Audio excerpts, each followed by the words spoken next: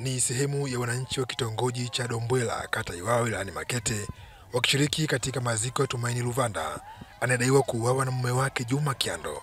Kufika kwenye mto tukakiona kisalfeti kinaelea kwenye maji ambacho kina viungo vya marehemu, tukakiopoa tukaweka nje ya mto, tukaanza kufuata mto unakokwenda.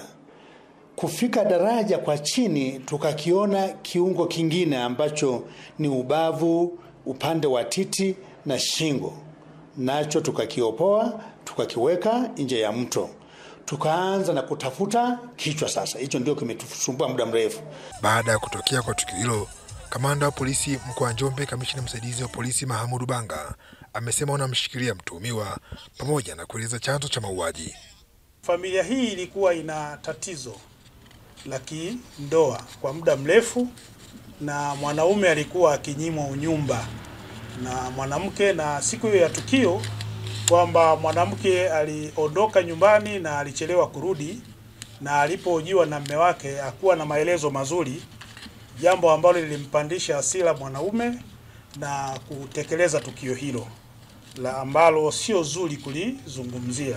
Vilevile jeshi la polisi limeeleza kubaini ulaghai unaofanywa na wafanya biashara kwa kuuza mbolea ya ruzuku tofauti na bei elekezi. Mifuko 94 ambayo ilikuwa imeuzwa kinyume na utaratibu kwao tumeikamata, ambao ni mbolea aina ya dapu, keni pamoja na ACA.